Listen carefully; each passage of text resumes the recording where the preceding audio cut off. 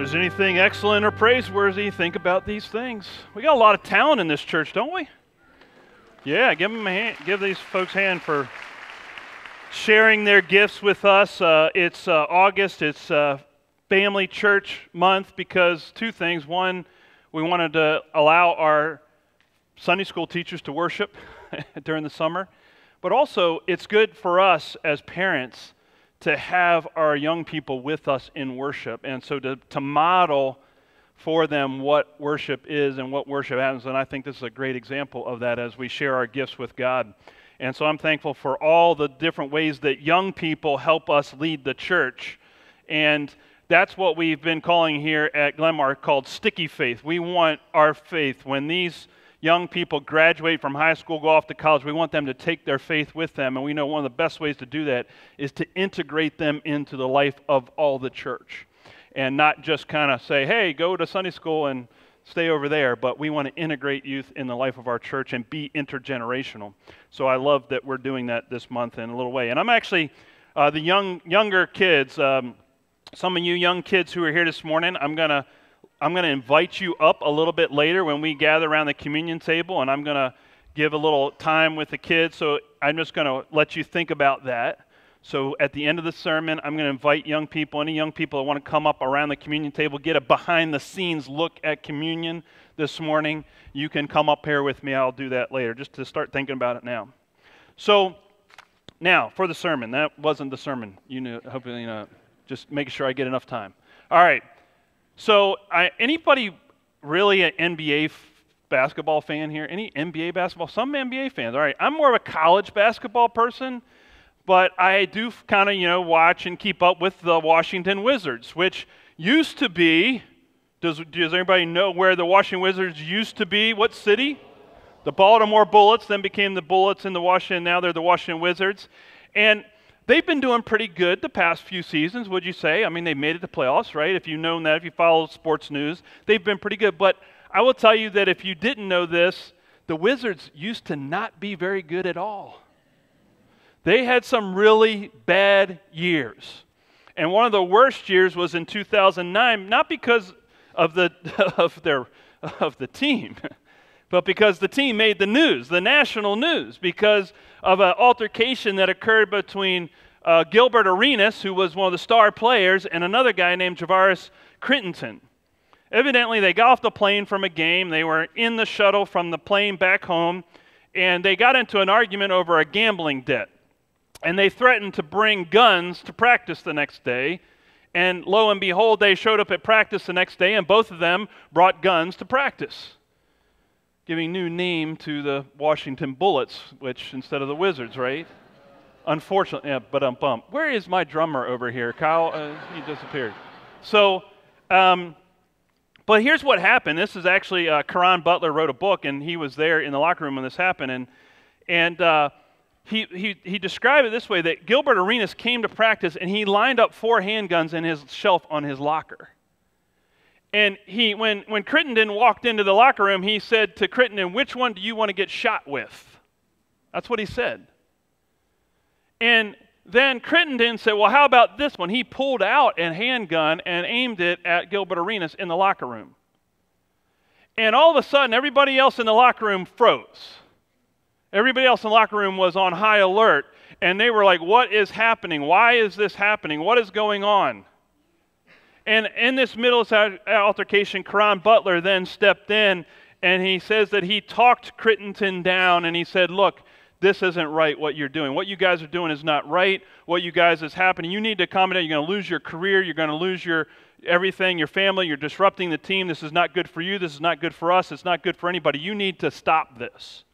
And fortunately, they listened to Butler and they both put their guns away and they went on to practice.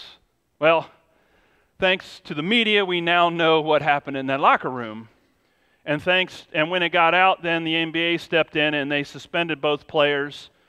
Uh, Gilbert Arenas lost $7.6 million in salary. He was later traded to another team. Crittenton never played another game in the NBA.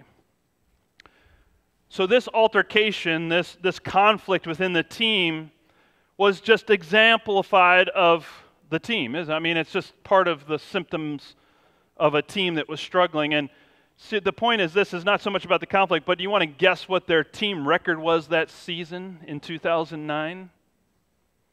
They went 26 wins, 56 losses that season. Not their worst record, but one of their worst records. They had multiple bad years because there was no team chemistry. And without team chemistry, without team unity, you can't have a winning team. That's just fact. That's just basic common sense. And so, why Butler was so wise to step in and say, You guys need to stop this. You need to get a handle on this because this just doesn't affect you guys. This affects the whole team. And we can't be a winning team if you guys are going to do this. It's exactly what Paul is saying to the church in Philippi. Saying to Euodia and Syntyche, if you all can't figure this out, if you guys can't get along, if you can't solve your problem, I'm going to send somebody in to help you solve that problem, but we can't have this happening in the church. You need to figure this out. Because the church can't be a winning team if you guys keep arguing about stuff. And so he actually sends in another person to step in and say, you Solve this problem in the church so that we can be the church. Solve this problem so we can get back to the mission of the church. And Paul actually says, this, and he's actually repeating something from chapter 2 about what it means to be the church and what it means to be a Christian. The first thing he says in that passage says, Be of the same mind. He's saying, Be of the same mind. Both, both not only Euodia and Syntyche, but all of you in the church need to be of the same mind. What is he talking about? Well, he's actually talking about what he already said in chapter 2. Let me remind you, because I know we didn't read it this morning. He said this Be of the same mind having the same love, being in full accord uh, and of one mind. Do nothing from selfish ambition or conceit, but in humility regard others as better than yourselves. Let each of you look not to, to your own interests, but to the interests of others. Let the same mind be in you that was in Christ Jesus. And then Paul goes on to talk about how Jesus left heaven to come to earth, took on the human form, not only became a human, but became a criminal and gave his life on a cross. He talks about the path of greatness being through humility, and that is the mind of Christ. So when he says to them, be of the same mind, he's actually reminding them, be of the mind of Christ. Humble yourselves. Look out for the interests of each other, not just for your own interests. I think about how often in the church we get hung up on personal preference, self interest, rather than the interest of Christ, rather than the mission of Jesus Christ. I've seen it in so many different churches, so many different places.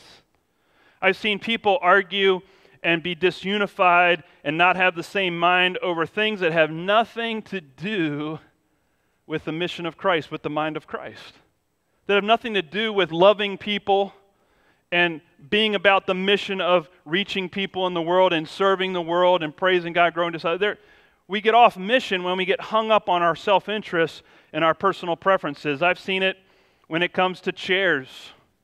You know, should we have these chairs that we can move around, have cushions on them, or should we have pews? I've seen it over color on paint colors on walls. I like the teal, not the aqua, you know. Uh, I've seen it on carpeting. I've seen it on should we have a stained glass window, not have a stained glass window. Uh, music style, right? We all have different personal preferences on musical style, and we argue over whose musical style is better for the church and better for worship. Personal preference, folks. So, all those self interests actually take us away from the mission of Jesus Christ. Those are all personal preferences that you and I have for different things in the church, but they don't matter when it comes to the mind of Christ, the mission of Christ. What we're called to be in the world and called to do in the world. Or uh, I, I'm jealous of some of you that get to wear shorts to church in summer, right? Attire, sometimes we get hung up on attire, what people wear to church, and when, when, did, when did Jesus say, hey, start judging people on what they wear to church? Is, is that really the mind of Christ? is that really the mission of Christ? I mean, it may be a personal preference. We all may have our own ideas, and there's nothing wrong with having those opinions and ideas. The problem is when they become the main thing, when they become what the church is about and not the mission of Christ. When we start to make something else a priority over the mission of Christ. So we as a church are to be of the same mind, and that mind is the mind of Christ who humbled himself, gave himself, and provided the mission and loved people in the world. So that's the same mind we're to have. The other thing that Paul says is that, in summary, basically in that second section, he says, Be, and this is my interpretation, my translation of summary, is be a non anxious presence. You know, pray about everything, everything with thanksgiving, right? So be a non anxious presence. So, how many people here, anybody like to fly Southwest? Yeah, right? I like Southwest because I like a little control over my seating arrangements. So I'm always like the guy who does the early bird check in. I want to get the A group, you know, because I know if I can get into like A1 through 30, you know what I'm talking about, Southwest people? So you can line up, right? I want to make sure because I want to get the exit row. Because on most Southwest planes, there's a seat in the exit row where there's no seat in front of you and you can stretch out your legs. That's my seat, folks. I have I've learned the tricks of the trade to get that seat. So you got to get in the A group. You also notice that the, whoever is the steward there, the airline attendant, he or she will stand in that row when you walk on the plane. And most people just walk on by because they don't want to interrupt the steward. But I go right up to them. I say, Can I sit there? Because I know they're going to be standing there. Sure enough, they're like, they get out of my way and I go sit down, right? Little trick of the trade if you fly Southwest. All right. Because most people pass that by. Some of you may already know that. But there's a, there's a commitment you have to make to sit in that row. And the commitment is this they come to you in the middle, before they even, the plane takes off, and you have to commit to being a servant. You have to commit to opening the exit door and serving everybody else on the plane to help them out of the plane. That means you cannot run screaming out of the plane, ah, the plane's on fire, right? You cannot do that. You have to, you are committing to be a non anxious presence on that plane and open that exit door for everybody else and help everybody else out of that plane. You are making a commitment when you sit in that seat, not just to have leg room, but to serve people. And they come to you and they eyeball you and look you in the eye, and you have to say out loud, Yes, I will do that. If you give them a, well, yeah, sure, why not? They're like, out of here. Right? When you sit in the seat of, when you sit in the seat of a Christian, when you sit in the church, you have made a commitment to be a non anxious presence to serve people, to open the exit door to freedom and forgiveness in Jesus Christ. You and I are a non anxious presence. And, and, he goes on and he describes how that happens. How do you be a non anxious presence in a world that is sometimes going down in flames? How do you be this non anxious presence when everything is falling apart? Well, he says, pray about everything with thanksgiving. And then he says, in the promise, he says, and the peace of God will guard your heart. Now, now here's what Paul says that literally he says, when he says guard your heart, that's what, what that means is to take a whole army and garrison in, in, a, in a walled city. So you, you would take a whole army and you would put it in the city and you would garrison it in the heart of the city. And how would that make everybody feel in the city when that army arrived? How would, if you lived in a city, a walled city that was always was uh, susceptible to attack, if you lived in that walled city and you knew there was this mighty army residing in your city, how would you then feel when the army showed up? How would you feel? Safe, right. Would you have more peace? Yes, right. What Paul is saying is that the peace of God, God's presence, will garrison itself inside of your heart in such a way that whatever the external circumstances are of your life, you will have confidence. Now, notice that it doesn't say if you have enough faith, you won't have anything bad happen. You won't have any attack. That's not what that says. It says that God will reside in your heart. You will experience peace and confidence in God that will be bigger because that army is bigger than the boogeyman, so to speak, right? But notice that Paul is not talking about perceived threats. You know, a lot of times you and I have anxiety and worries about things that never happen, right? We worry about things that don't won't occur. Paul is actually talking about real threats to the church and to people, talking about persecution. So he's saying there is a real threat in the world, and what he is saying is if you will pray about those, give those to God, and allow God's peace to garrison itself in your heart, you will have more confidence in facing those real threats in your life. Doesn't mean they go away, doesn't mean they get solved, but you can experience the peace of God. I'm not saying it's easy, folks. But there is a level. And in fact, the Psalmist 122, I read this psalm in my devotions this week. It says, They do not fear bad news, they confidently trust the Lord to care for them. Doesn't mean the bad news goes away. It doesn't mean that the world isn't falling apart. It doesn't mean that bad things aren't going to happen. It means that there is a confident trust and faith that brings peace in the midst of danger, in the midst of problems, in the midst of difficulty and adversity. Paul knows this best. He was persecuted, beaten, tortured, jailed, shipwrecked, and he was able to say, I find myself to be content in all circumstances the peace of Christ guarded his heart. I don't know about you, but I'd love to have that kind of peace. I would love to experience, and there are times when I have experienced that kind of peace, and I just need more of it. So that's the promise of God. So be a non anxious presence because of your confidence in God, because God is garrisoned in your heart. And then the other thing that Paul says as he wraps this up, he's basically my summary is this be positive. I'm not talking about blood type. Where's my drummer? Where is my drummer? So, talking about being positive. See, because the temptation of the church and the temptation of Christians is to look at all the bad news in the world, to look at the world that's falling apart, and we got a lot of that going on these days, to look at the world around us and go, oh my, oh my, there is nothing good in the world around us, so let's just lock the doors and pray. Paul is saying that is not what the church is to do because, first of all, that's not the mission of Christ, that's not the mind of Christ. But he's basically saying we don't huddle up, withdraw, cloister ourselves off. We've got to stay looking at the world in a positive way. Even though it is falling apart, there is sin, there is brokenness, we can still see good in the world and in other people because God created this world. As broken as it is, there is still good in the world. So don't run from it. There is still good in people that don't even agree with us because they are created in the image of God. I, there's a plaque that hangs in my house when you walk into my house. Like, this was a gift from a friend here at Glenmar, and she gave this plaque to me when I first came here. And it's a quote from Erasmus. Y'all you all know Erasmus, right? You, you, right?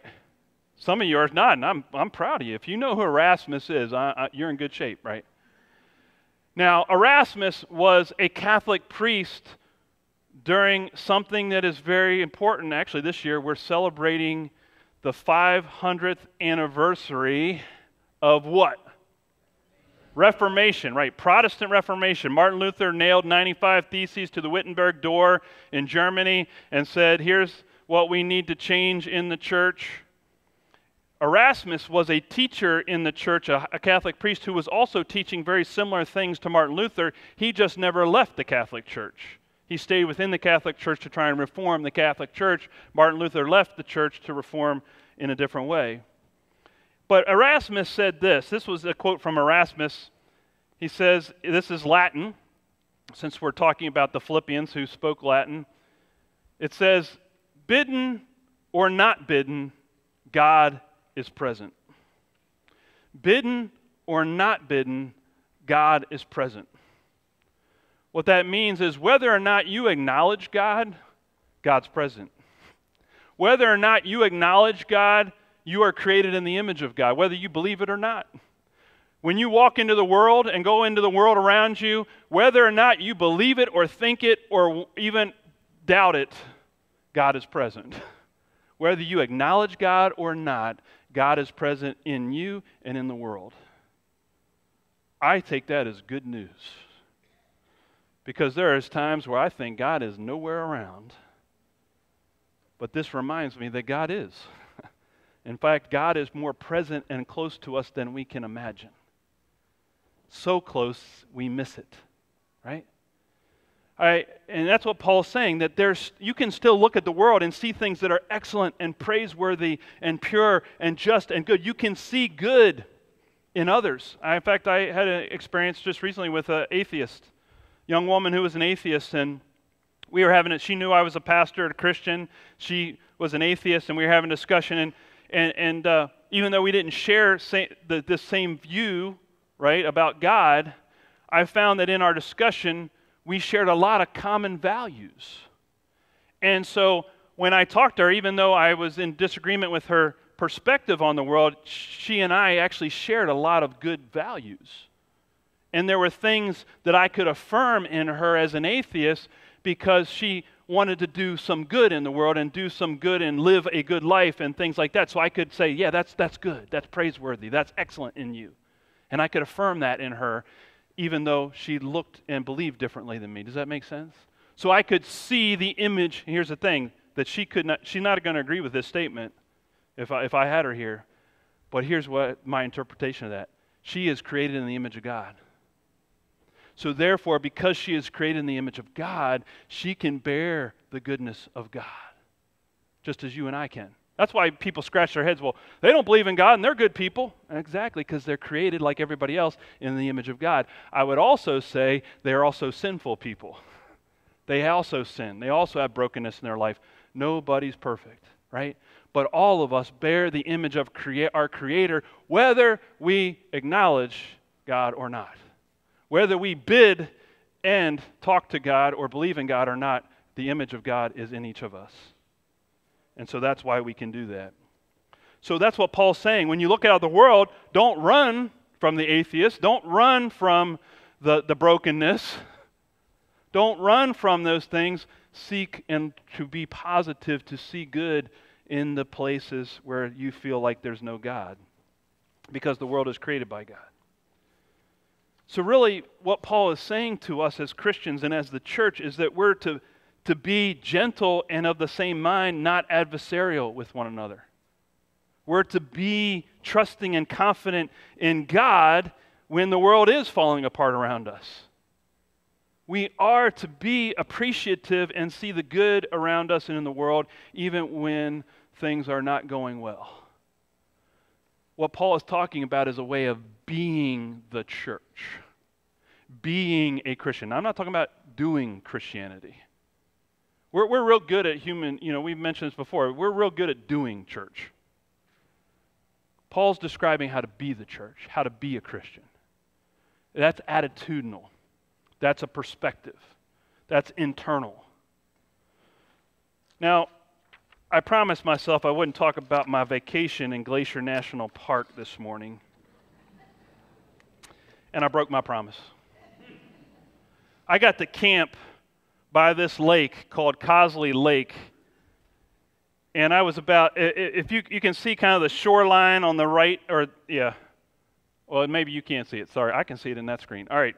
So on that, so where you're looking at, I am like 10, 10, feet to the right of that picture. My tent is set up 10 feet from that. And I could look out, that's a morning shot of the lake. And I, what do you notice about the, the, the, uh, the lake itself? What do, you, what do you see about the water? What's happening with the water of this lake? It's, it's calm, dead calm, still, right? So I woke up at 4 a.m that night we camped, and I couldn't go back to sleep because I was on East Coast time, I guess, still on East Coast time. We were in Mountain time. So I woke up 4 a.m., couldn't go back to sleep, and everybody else was sleeping.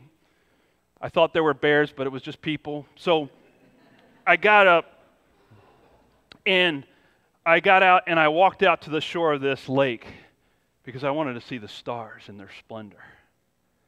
And I sat there on the shore of that lake for quite some time and the Milky Way galaxy was just full out. I mean, I don't know if you've ever experienced that, but you got to get out in the mountains to see the whole thing, right?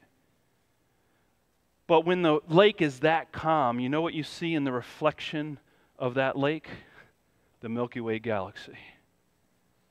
And when I sat there, I I experienced peace. I could not, the only word that could describe that moment was peace. God's peace. And when Paul says, or even when Jesus said to the storm, Peace, be still, Matthew says that when Jesus commanded the wind and the waves, when after that command went out, there was dead calm on the lake. Dead calm like that. I thought the storm just went away, but there was a stillness. Folks, when our hearts are as still as that lake and the light of Christ shines in our hearts, guess who we reflect? When our hearts are at peace and still and confident in God, and Christ's light shines into you and me, guess what the world sees in us? The light of Christ, the mind of Christ. It comes through God's peace in Jesus Christ. Amen.